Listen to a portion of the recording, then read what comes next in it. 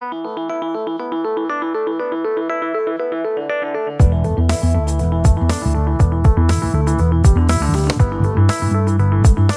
think the future is very, very exciting for us. Um, the industry gives us more and more possibilities to use different materials, different uh, propulsion systems, so we can keep on improving where, uh, where we really want to go forward.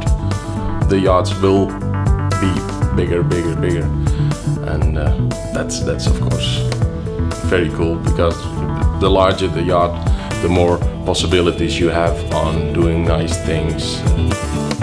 The bigger boats, 200 foot plus, are important, much more than we anticipated a couple of years ago. And uh, the small boats are very strong.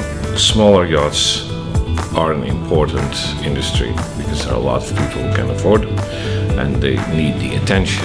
And the bigger boats is a fantastic uh, market at this moment.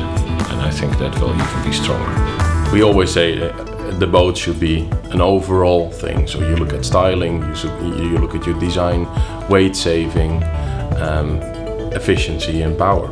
And that package together brings you to yeah, a unique boat.